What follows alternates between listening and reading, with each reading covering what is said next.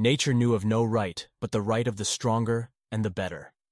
All the moral and political laws which were at variance with this natural law were nothing but an invention of the weak by which they tried to deprive the strong of their natural right and prerogative. The born aristocrat must shake off the fetters of these effeminate moral and political doctrines, and by force or deceit, or whatever means he sees fit to use, regain the rule which is his by nature. This simple and naive sound formula is from a not very profound article written in 1941 during height of war passions against Nazism. The writer was trying an understated way to draw analogy between ideas of ancient Greek anti-democratic factions and the doctrines of Hitler. How important was this view for Nazism, actually? Nazism was, like most successful political movements, an incoherent mix of many programs, policies, slogans, half-philosophies, representing the need to keep together factions, or phrases and ideas accumulated over time to mobilize now this part of the population, now that, and so on. It's mostly useless to judge the truth of a purely political philosophy from its texts. The intellectual base of Confucianism, as of Islam, not to speak of Marxism, are flimsy and rotten, but their weed growth in the political world is strong. What does Schopenhauer say about Islam? Temples and churches, pagodas and mosques in all countries and ages, in their splendor and spaciousness, testify to man's need for metaphysics, a need strong and ineradicable, which follows close on the physical. The man of a satirical frame of mind could of course add that this need for metaphysics is a modest fellow content with meager fare. Sometimes it lets itself be satisfied with clumsy fables and absurd fairy tales. If only they are imprinted early enough, they are for man adequate explanations of his existence and supports for his morality. Consider the Koran, for example. This wretched book was sufficient to start a world religion, to satisfy the metaphysical need for countless millions for 1200 years, to become the basis of their morality and of a remarkable contempt for death, and also to inspire them to bloody wars and the most extensive conquests. In this book, we find the saddest and poorest form of theism. Much may be lost in translation, but I have not been able to discover in it one single idea of value. Such things show that the capacity for metaphysics does not go hand in hand with the need for it. Even more so can be said about Marxism, which can never stand on intellectual merit alone, and I think never intended to a grotesque Oriental misreading of Hegelianism, refracted through the prism of one man's ethnic neuroses and resentments against his father. The most complete intellectual takedown of Marxism is in Cuddihy's book, The Ordeal of Civility, supported by unanswerable biographical detail from his letters and so on, which reveal his intentions in own words. But neither this, nor its repeated failures when put in practice, unlike fascism, which at least always has to be violently and quickly suppressed from outside, Marxism flamboyantly always rots from inside. But none of this will lessen its fortunes among a large portion of the new humanity. Because it answers a deep emotional and biological need in many types, so it will always be considered without regard either to inherent intellectual value or to consequences. And where Marxism is rejected by name because Marx himself or his theories fall out of favor temporarily, it's replaced with still dumber, more incoherent theories from Marx's successors, interpreted now in terms of gender, now of race, which show themselves flimsy loincloths over the gaping wound, the primal hatred of the defective for the better. The decline of racial thinking in the European tradition, which was at bottom a revival of the ancient thinking in every way, the thinking about types, which means always biological types, this disappearance of thinking according to nature results in intellectual men and men of letters misunderstanding the role of thoughts, ideas, and texts in political life. For example, Samuel Huntington with his idea of civilizational spheres defined mostly by texts, by the texts of Confucianism, or Buddhism, or Islam. If literary traditions alone determined the right demarcations of mankind, the Quran would be sufficient to understand, say, Afghanistan and I suspect that many intellectuals believe this. In fact, the Quran is insufficient to understand even professed Islamic radicals or terrorists, or the Islamic ulema in general. Nothing that reproduces itself through textual pedagogy ever is profound path to understand human character or deep alignments of mankind. This isn't thought about man and nature. It's superstition. Level of penetration at that of college socialists who are still mad over Lumumba. Nazism, as a pragmatic amalgamation, was then not defined only by the amoral aristocratic radicalism represented in quotation above, but for a while during the war and right after, This was felt to be its most dangerous idea. The formula is repeated in an even more naive and popular way in the 1948 Hitchcock movie Rope, where it is this time directly associated with the name of Hitler. This was then soon forgotten, or rather, covered up. I think the Allies would have preferred to ban Nietzsche in same way Machiavelli claims the early Christians would have liked to ban Latin and Greek, but they couldn't, and therefore had to preserve also the ideas and traditions of an antagonist. In same way, they couldn't ban Nietzsche. It would have meant banning Schopenhauer as well, and then so much of European literature and art since the late 19th century. Maybe they left this mass burning of books and art for a bolder and stupider future descendant. Regardless, having to still reckon with Nietzsche, an entirely defanged, castrated version was peddled first of all to academia and then to intellectuals an ironic liberal skepticist whose antinomianism was to be strictly applied only to the individual's quest for self-realization, but would otherwise leave egalitarianism and democracy mostly untouched. Distortions of Nietzsche and suppression of those of his followers who truly understood him were typical of Walter Kaufmann's commentaries, full of half-truths such as, Nietzsche didn't like nationalism, which is true, he liked pan-European racial supremacism. But the abounding distortions, the silent treatment, and ultimately, if necessary, the censorship of the true meaning of Nietzsche's aristocratic radicalism or immoralism began in full awareness of this, that it is a politically explosive claim. There was an earlier frank expression of aristocratic radicalism in the ancient world. After the excesses of the Athenian democracy during the Peloponnesian War, an oligarchic faction took over the city, under Plato's uncle Critias, he and his friends believed and wrote things very much in the spirit of the simple formula. Right in nature is the advantage of the stronger. Laws, customs, and the myths around these were made by the many weak and their shamans to bind the stronger and better against the way of nature. Their government didn't work out, and they ended up killing a lot of people. Maybe more Athenians were killed during their rule than died during decades of the war. That this event is somehow analogous to the anti-democratic reaction of Hitler is claimed also by Leo Strauss, who quoted Plato's seventh letter, when at beginning Plato says that Critias's anti-democratic government, which he was at first enthusiastic about, ended up making the democracy seem like a golden age. So the moral homily goes, according to Strauss, to Hitchcock, or whoever wrote the screenplay, and a host of other academics and so on. You see, boys and girls, if you play with Nietzschean aristocratic a moralist strength-worshipping fire, you get Hitler.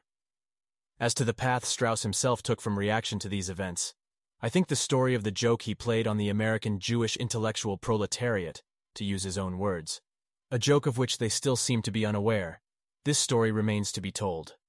More interesting is the glimmer of realization here, among various writer around World War II, that the Western philosophical tradition as it ended up, as descent from Plato, Aristotle, the Socratics, developed in decades following an analogous ancient Hitler-like event.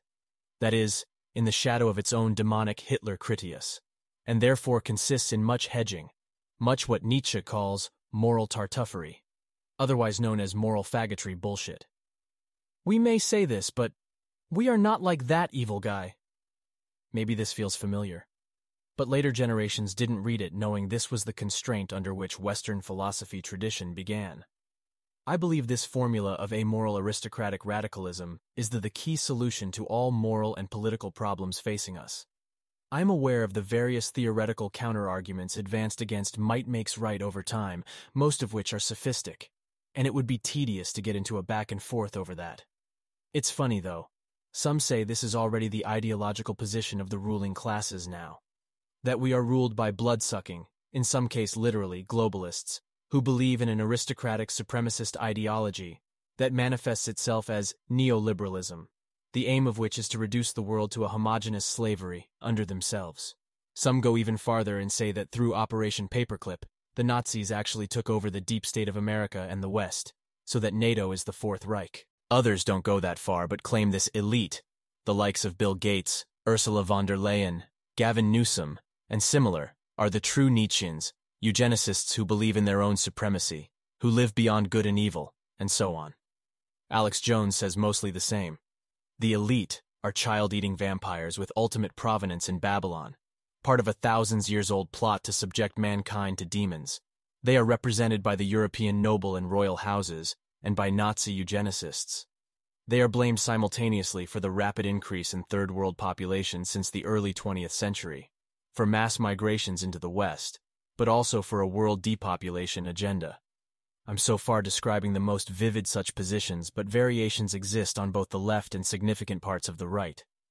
The elite themselves, of course, don't believe any such thing, never professing such ideas publicly, nor in private, nor, I would say, is it in their minds, consciously or not, as their true motivation.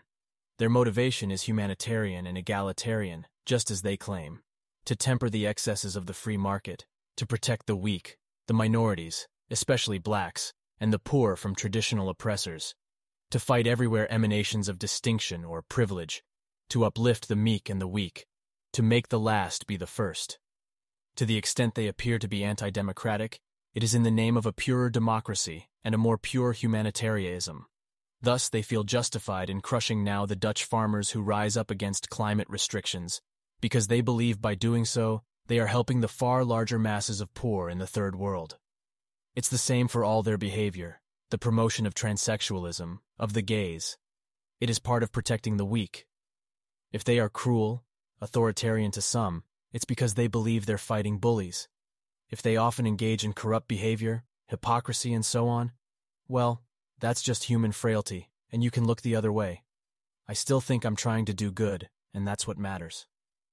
In other words, they're acting like almost any other ideological Mandarin Party incompetent class in history. But, I would say, with less, far less self-conscious cynicism or nihilism than what you'd find among East Bloc apparatchiks. Not one embraces a moralism, Nietzscheanism, eugenicism, or any of the vampiric dark traits attributed to them by their political opponents. They are not gangsters or mad scientists. They are genuine moralists, and without that egalitarian moralism, no one would accept their rule, and none of their insanity would be possible. This argument is a variation on one of the common attacks on a moralism, or the rule of the stronger, that it is a tautology, or hard to define, or self-refuting. Thus, if 100 weak and cowardly men can subdue a stronger, smarter individual, this is taken to be a refutation, because an abstract strength still then technically ends up ruling. A funny but equally wrong restatement of this argument can be found in Borges's story, German Requiem. By this reasoning, the IMF or international finance, or the banking elite, or the vague neoliberalism, are taken by these critics to be the real Nietzscheans simply because they are in power. By this reasoning, might makes right becomes a doctrine of social stability. Authority is always just, respect authority. It would be a strange thing if this trivial kind of Confucianism was the message of Nietzsche or Critias, who were seen as so shocking and explosive in their time. This is a doctrine of social and political instability. Almost no society in history, almost, openly says it rules by strength and strength is good. This is an exception and a distinction. Almost all societies historically give many other reasons. They are morally good, or more equal, or more pious, or more holy. Nietzschean might makes right political skepticism punctures these self-righteous reasons. It shows social and political morality to be a word game of womanly, priestly, and bureaucratic types of men to try to avoid a confrontation of quality, in which individual excellences of supremacy, namely the traditional virtues of bravery, physical strength, and foresight, are given a chance to achieve political supremacy. A rare example of a society ruled by this principle might the Icelandic Free State, a eugenic, truly eugenic state based on the duel and the natural right of the stronger. It might look like the Greek city-state based on the similar principle of the agon, in this case the formal contest, the duel of natural superiority formalized, ritualized, and somewhat pacified. It might look like any one of the traditional warrior junta-led Indo-European or Japanese mini-states that have existed from time to time. To, in other words, states that, respecting the intelligence and honor of free men, saw no reason to lie about the fact that their rule was based on strength or excellence, which, however then, has to be manifested in acts and achievements to be believed and accepted. Indeed, contrary to what many think, might makes right isn't purely a result of philosophical skepticism or nihilism. There are long traditional roots. Consider this from a Buddhist sutra in Tocharian, apparently still the language of steppe Khonans. The good fame of the strong spreads in the ten directions. Reverence, respect, obeisance, and honor are to be attained through strength from everyone, to be conquered quickly, are enemies. to be obtained quickly, is prosperity. Of the strong, there are great riches. Of the strong are also many relatives. Enemies bow down before the strong. To the strong come honors. The strong are the protection of creatures. Of the strong there is no fear. Therefore, strength is good, and, in every way, the best thing, in my opinion. By means of strength, thus, at an earlier time, the son of King Siddhartha, the Bodhisattva Sarvarthasiddha, descended upon the ocean. He went to the island of jewels. The rationalization arguments against aristocratic radicalism make sense as word games. If a mannequin like Chernenko or Biden rule, they are the mighty by definition. But everyone knows what is meant that men like Nestor, Odysseus, Achilles, or even Diomedes or Agamemnon should rule, but not Thersites, not Helen, and probably not Paris. Certainly not a product of the Confucian meritocracy, or of the still more broken modern American one. That this is often not the case, that the weak rule by accident, by misplaced piety, or for any number of other reasons, is no contradiction. The strong are often subject to the weak, the better to the worse. But as the doctrine states, a violation of this right of nature will have inevitable material consequences, whereas breaking the law of man doesn't necessarily. There are natural costs to being ruled by the likes of Obama, Alberto Fernandez, Biden, Jens Stoltenberg, or the other products of this system of elite selection, a process very different from the duel, the agon, or the roughly equivalent procedures in the few military aristocracies that have existed. In Singapore, a man of strength in every way, bravery, foresight, supreme foresight, ended up ruling, and that country turned out probably the best way any modern state has, given its geographical and demographic constraints. It's entirely possible that Lee Kuan Yew wouldn't have come out on top, though, but it would just have meant that Singapore would look now a lot more like Jakarta, maybe. Again, there are material or natural consequences when the right to rule of the stronger is thwarted. I bring Lee Kuan Yew up because there is a certain video of him giving a famous speech, and you should watch not just the well-known end of this brief statement, but the beginning where he somewhat stumbles and seems not to express himself very well.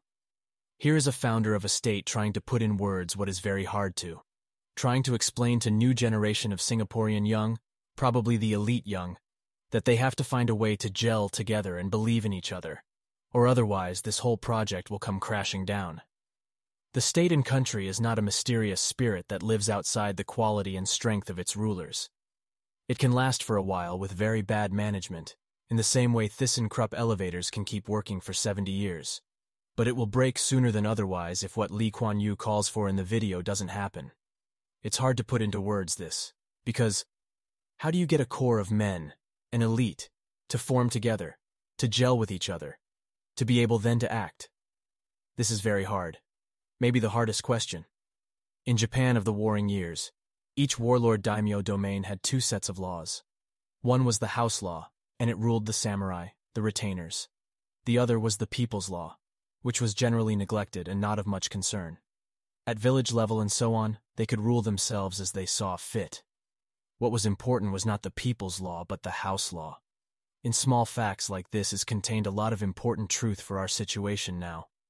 The true act of political significance, of foundation. What is it that forms the elite, and what is it that keeps it together? This has been my longest and only concern when thinking about politics, not just because of innate preference for elitism, but out of necessity. Many who talk about politics forget that neither we nor they rule a state or a country. We're not in a position to make policy. The lives of the people are far outside our ability to rule, the reform of institutions outside our reach. We are simply powerless. The only relevant political question is how to forge a party core, similar to the early Communist International, or to the factions that founded Zionism, and achieve similar success in founding a new order or a new state. Marxism and Zionism were in their beginnings ideologies for new elite formation, not for making policy for a country or a people. Many forget this obvious crucial first step. Marxism and Zionism each attracted a certain kind of man, I find the doctrine hinted at here of amoral aristocratic radicalism to be an excellent identifying and rallying marker for a different type of man, and for a new counter-elite of our own time. Our political moral situation is in some ways very similar to that in which ancient Greek aristocrats in the age of the decline of the classical era found themselves and less so to that of the European right wing before World War II. In comparison to material situation of both, we are in far more dire circumstances. Both had significant sources of domestic or foreign support, while we begin from an utterly routed condition. But we are similar to the ancient Greek aristocrats of Critias' time, in the sense that we face an internal opponent who uses the language of morality, of egalitarianism and democracy, although now of course in a form far more mawkish and stomach-turning. We are like them in that we live in a time of exhaustion, exhaustion of all ideologies, creeds, beliefs, religions, institutions, states, countries, peoples. The exhaustion of our time is far more advanced, but for that reason it's far more important for us never to place faith, trust, or hope in any of these. If you are a nationalist, you must realize the nation you hold dear to is exhausted, and there's nothing there in a very concrete sense. If you place your hopes in the nation instead of your friends, you will be let down. The same applies to those who hold dear to the race, or a faith, a religion, or a state. These are all exhausted now, or corrupted. If they are to have a future, they must have a new beginning, and that beginning can only be in what Lee Kuan Yew describes between the lines. That new beginning has to be in you and your friends. Simple and naive as it may sound, it was the inspiration that brought together aristocratic fraternities of Greece in its hour of decline, and of Nietzschean brotherhoods in the first part of the 20th century. The doctrine of aristocratic amoral radicalism is one of new beginnings when the blood of ages is exhausted. It's the only thing that can be the fuel and the key to restart other things, whether nations, states, or religions.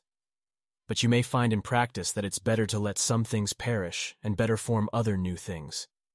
I promote these views because I see men of high power weighed down by moral baggage and duties to the lesser, who won't and can't return the benefit, and who will resent them, who put their trust, bodies, and energy in the service of dead states and institutions that will use them up and for who it really is simply a conceptual or psychological baggage that holds them back from bonding in an effective junta with their friends and throwing off the shackles of these encrusted scleroses that have endured beyond their time. If you doubt me, think of how well Trump or Bolsonaro would have acted, and what they could have achieved if they weren't held back by their pieties, misplaced loyalties, and old-fashioned patriotism.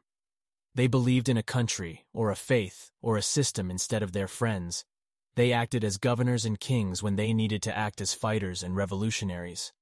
It may be that the foundation of new states, or the reform of religions, is still outside anyone's grasp for now, at least until some truly great crises come.